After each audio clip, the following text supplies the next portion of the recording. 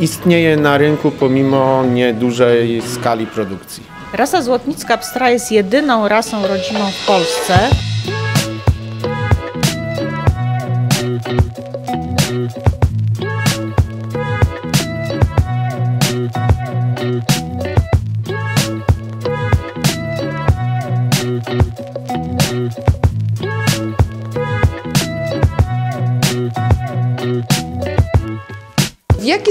Dbać o bioróżnorodność genetyczną świń? Czy warto inwestować w takie rasy jak e, złotnicka pstra?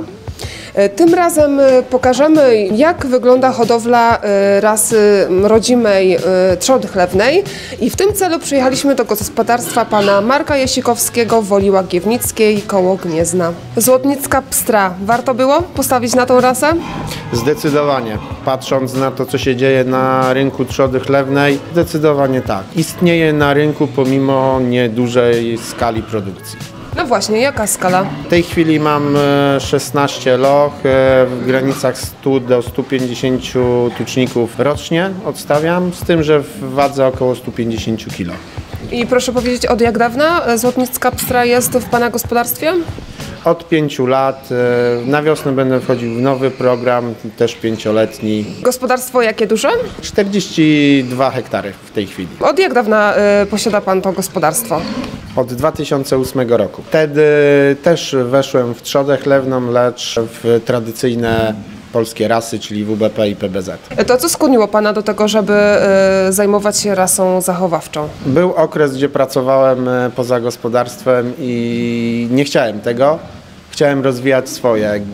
Początkowo, początkowym impulsem były dopłaty do, trzy- do macior, do lochy, które pomagały po- e, przetrwać. Pierwsze, pierwsze miesiące e, dużo, dużo też dało w rozwoju hodowli złotnickiej pstrej dał, dały mi studia, gdzie się dowiedziałem między innymi o możliwościach zbytu tucznika. I w tej chwili gdzie Pan zbywa tucznika? Do jadła tradycyjnego, które się znajduje w podpoznańskich Pomarzanowicach. I dzięki temu udaje się Panu uzyskiwać e, zadowalające ceny? E, tak, zawsze jest około złotówki więcej e, na kilogramie, co momentami było bardzo ważne. No ale też musimy sobie powiedzieć, że złotnicka pstra nie należy do ras wydajnych. Trzeba troszeczkę czasu poświęcić na tucz. Też nie osiąga takich e, wielkości. E, Owszem, e, lecz tutaj troszeczkę sam musiałem przestawić swoje myślenie i wykorzystuję pasze typowo ekstensywne, tam gdzie nie ma dużej zawartości białka czy energii, tylko typowo włókno.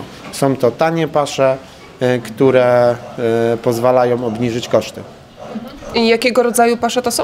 Różnego rodzaju e, makuchy, wytłoczyny, odpady od warzyw, e, różnego rodzaju poplony e, z pola.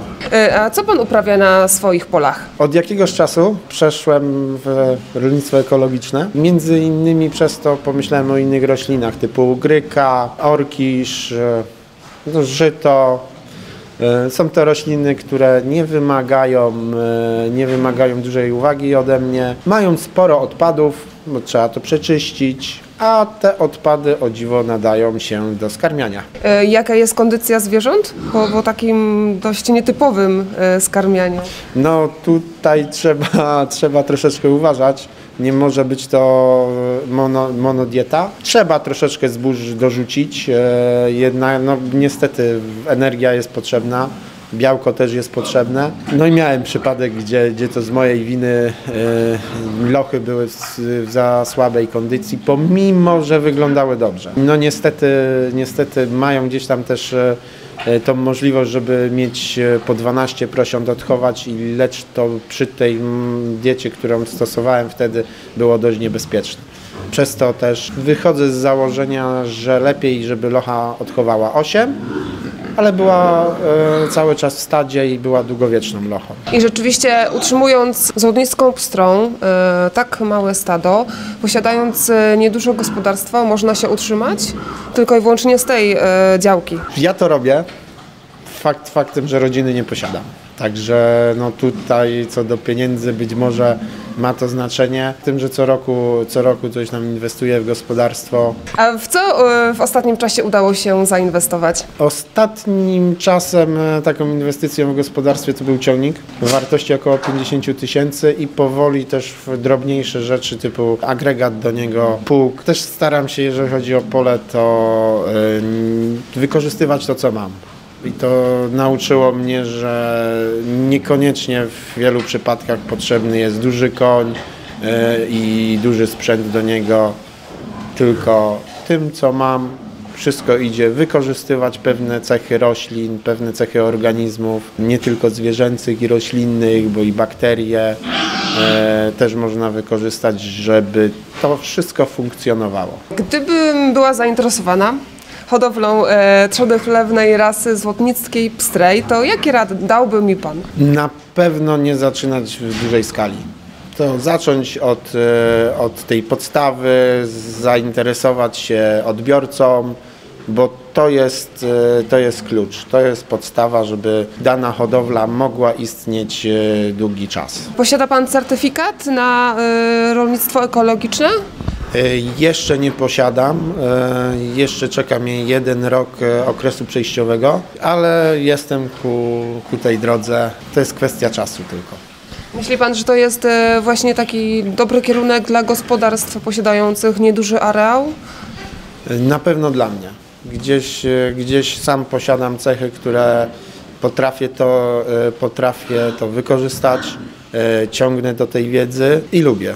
W, lubię wykorzystywać e, cechy roślin, cechy zwierząt, wbrew pozorom, dlatego żeby się mniej napracować. Przekształca Pan gospodarstwo w ekologiczne, czy właśnie w tym kierunku też będzie e, Pan podążał, jeżeli chodzi o produkcję zwierzęcą?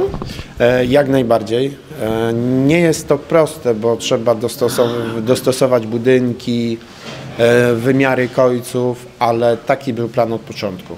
Gdzieś wbrew pozorom to właśnie e, hodowla złotnickiej pstrej e, pociągnęła mnie w kierunku ekologii. Pracuje Pan sam w gospodarstwie? E, tak, sam. Chwilowo mi pomagają sąsiedzi i rodzina, jednakże to jest kwestia pięciu minut, żeby ktoś coś przytrzymał, e, przytrzymał, przypilnował, żeby nie, nie, wyleciały, nie wyleciały zwierzęta poza e, transport. E, także w większości sam. Nie zajmuje mi to wiele czasu, poza, poza wymianą ściółki i o, o, obrządkiem. Może w miesiącu to jest 5-6 godzin pracy. Jeżeli chodzi o wyproszenia e, loch, one wszystko same przy sobie zrobią, posprzątają, także nie ma problemu. Nie mam żadnych szczepień, nawet jeżeli chodzi o szczepienia loch przeciwko parwowirozie czy kolibakteriozie, nie ma potrzeby. Nie widzę, żeby, żeby prosiaki były zakażone parwowirozą czy, czy nagłe jakieś biegunki. E, Także szczepień się pozbyłem. Fakt faktem, że z początku e, zaszczepiłem, to być może ta odporność przechodzi ze sztuki na sztukę na bieżąco. Jednakże nawet samych prosiąt e, nie mam szczepienia, wychodzi tylko kastracja i założenie kolczyka, co jest e, wymogiem Unii Europejskiej. Nie chorują? Chorują, wiadomo, upadki też są, jednakże idzie wszystko, wszystko jest w ilościach do zaakceptowania. To jakie, e, jakie upadki? W granicach 5%, 0,5%. Nie zawsze się to, nie zawsze się to zdarza, jak mam e, partię około 20-25 sztuk do odsadzenia, jak mi jedna, jedna, jeden prosiak odpadnie z tego, no to jest do zaakceptowania i rzadko się to zdarza. Taki powszedni dzień e, u Pana jak wygląda? Ile czasu od rana musi Pan spędzić w chlewni? Pół godziny rano, pół godziny wieczorem. I to wszystko. I to wszystko raz na 2-3 dni wymiana ściółki, jakieś może 5 minut, 10 minut by trzeba było doliczyć w tygodniu na przejrzenie infrastruktury, czy nie trzeba gdzieś tam czegoś dokręcić, czegoś wymienić, typu jakiegoś poidła i to wszystko. Jest z nami doktor habilitowana Karolina Szulc z Katedry Hodowli Zwierząt i Oceny Surowców, pełnomocnik rektora Uniwersytetu Przyrodniczego w Poznaniu do spraw prowadzenia ksiąg hodowlanych świń złotnickich. Pani profesor, Czym charakteryzuje się rasa złotnicka pstra? Rasa złotnicka pstra jest jedyną rasą rodzimą w Polsce, jedną z trzech objętych y, programem ochrony zasobów genetycznych. Że jest to rasa rodzima oznacza, że przez cały okres hodowli nie dolewano w cudzysłowie y, krwi innych ras, czyli tak jak kiedyś ona wyglądała na początku y, lat 50. już po wojnie, tak wygląda teraz. E, Dlaczego właśnie Uniwersytet Przyrodniczy w Poznaniu zajmuje się tą rasą? E, Przede wszystkim dlatego, że jakby historycznie ta rasa jest z nami związana. Twórcą tej rasy był profesor Aleksandrowicz, e, pierwszy kierownik e, Katedry Hodowli i Produkcji Trzody Chlewnej, który sprowadził przodków tej rasy z okolic Wilna i Nowogródka. Właściwie świnie te przyjechały z przesiedleńcami już w okresie powojennym, ale byli to przesiedleńcy właśnie z e, tych wschodnich terenów. No i tak tradycyjnie zajmowaliśmy się tą rasą. Od 2000 roku prowadzimy księgi, od 2002 prowadzimy e, również ocenę tych świń. E, Zajmujemy się tym też i z sentymentu i też dlatego, że uważamy, że zachowanie tych ras właśnie rodzimych, takich e, pierwotnych, tradycyjnych jest bardzo ważne, ponieważ jest to też element kultury danego narodu. Ile sztuk e, tej rasy występuje w Polsce w tej chwili? W tej chwili już mamy spore stado, ponieważ ono liczy około 1200 loch e, w całej Polsce. E, Część tych loch jest skupiona tutaj w Wielkopolsce, są też e, stada w województwie dolnośląskim i w województwie zachodniopomorskim, no i po parę stad w innych województwach. Ale można powiedzieć, że w tej chwili ta rasa jest we wszystkich województwach w całym kraju. Jest to rasa wymagająca pod względem hodowlanym? Nie, właśnie nie. Jest to rasa, która cechuje się no, niższym poziomem cech użytkowych, e, a więc no, wolniej rośnie, e, ma mniej prosiąt, natomiast jest bardzo odporna, dobrze wykorzystuje pasze pochodzenia gospodarskiego, czyli takie, które mają e, dużą zawartość włókna, które no, nie bardzo można wykorzystywać przy intensywnej produkcji trzody chlewnej. Jest bardziej odporna, no i myślę, że to są takie najważniejsze zalety, a przede wszystkim ma doskonałej jakości Hodowcy, którzy e, decydują się na utrzymywanie tej rasy e, trzody chlewnej, mogą liczyć na wsparcie finansowe? Tak, e, to wsparcie jest właściwie dla tej rasy już od 1986 roku, początkowo ze środków krajowych, w tej chwili już to są środki unijne i w tej nowej perspektywie te działania interwencyjne to jest w ramach tych działań rolno-środowiskowo-klimatycznych mogą liczyć na wsparcie w wysokości 1335 zł do lochy rocznie, plus od tego roku taki bonus również dla knurów. To jest dla nas, jako dla prowadzących księgi, e, bardzo ważne, ponieważ e, ułatwia tą e, dystrybucję materiału hodowlanego. Czasem przy małych stadach utrzymywanie knura jest jakby mało opłacalne, więc to wsparcie myślę, że jest bardzo ważne dla hodowców. E, Jak długo trwa okres tuczu e, świni rasy złotnickiej pstrej? No jest zdecydowanie wydłużony, y, ale trzeba wziąć pod uwagę, że to jest tucz ekstensywny. Tak? Tutaj zresztą nie ma sensu jakby y, tuczyć intensywnie, dlatego że to są świnie o niskim potencjale wzrostowym, więc nie mają jakby tej zdolności y, przetwarzania białka paszy na białko mięsa i zbyt mocno by się otłuszczały. Jest on wydłużony. Do masy tak 100-110, y, 120 kg to jest około 8 miesięcy, a tak do 150 to jest około jednego roku. E, Jaki jest wzorzec tej rasy? E, Jeżeli chodzi o wielkość tych świń, to bym powiedziała, że one nie są tak duże jak na przykład Wielka Biała Polska, ale my zaobserwowaliśmy, że są w takim jakby dwóch typach. Bardziej prymitywnym, jeżeli są utrzymywane szczególnie z dostępem do wybiegów e, i wtedy są trochę bardziej podobne do dzika. E, Charakterystyczna jest dłuższa, gęściejsza szczecina. Natomiast te, które tego dostępu do wybiegu nie mają, no są bardziej takie, bym powiedziała, mają bardziej szlachetny wygląd. No przede wszystkim charakterystyczne to, co wskazuje nazwa pstre, czyli białe z ciemnymi łatami. E, Udział barwy tak mniej więcej 50 na 50. Z takich cech ścięty zad, czyli takie raczej szczupłe szynki, dość duża głowa, no i charakterystyczne bardzo duże, grube uszy. Jakiej wielkości stada chlewnej e, tej rasy występują w Polsce? Minimum to są stada, które liczą 8 loch i jednego knura. Maksymalnie mogą hodowcy utrzymywać po 100 loch tej rasy i wtedy ten, od tego roku mamy taki przepis przepis, że to jest, wtedy musi być 35 loch na jednego knura minimum. Do tej wielkości mogą e, otrzymywać wtedy wsparcie z e, tego Agencji Restrukturyzacji i Modernizacji Rolnictwa.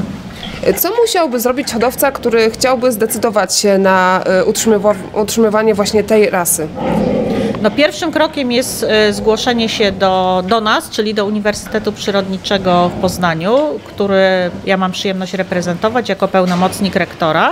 Podpisuje się wtedy umowę z nami e, na prowadzenie e, hodowli i dalej już my kierujemy, czyli wskazujemy hodowców, od których można kupić dobry materiał hodowlany, podpowiadamy w jaki sposób uzyskać dotacje, czyli jak przygotować plan rolno-środowiskowy. My tego nie wykonujemy, nie mamy takich e, uprawnień, natomiast e, wskazujemy, gdzie to można zrobić e, i dalej prowadzimy już i księgi, czyli zwierzęta są pod oceną, prowadzona jest dokumentacja, czyli pierwszy krok to jest zgłoszenie się do Uniwersytetu Przyrodniczego. E, I dalej współpraca e, w momencie, kiedy zawiązana będzie ta umowa, e, istnieje e, między państwem a rolnikiem. Tak, oczywiście. Warunkiem w ogóle otrzymywania dotacji jest to, że, zwierzęta muszą być pod oceną, muszą być to zwierzęta czysto rasowe. To znaczy, że to nie może być tak, że ktoś mówi, że ma świnię złotnicką, e, a nie ma na to dokumentów. To, jest, to są zwierzęta z dokumentami, czyli musi być przede wszystkim świadectwo zootechniczne, które jest obowiązującym w całej Unii Europejskiej dokumentem, na podstawie którego możemy stwierdzić i rasę zwierzęcia, e, i również jego pochodzenie określić. I to wystawia odpowiednio podmiot, który prowadzi księgi dla danej rasy. No w przypadku Złotnickiej Białej Pstrej to jest Uniwersytet Przyrodniczy w Poznaniu. E, Złotnicka pstra jest jedną z kilku ras rodzimych trzody chlewnej występujących w Polsce. Jakie inne rasy jeszcze e, można znaleźć w chlewniach polskich?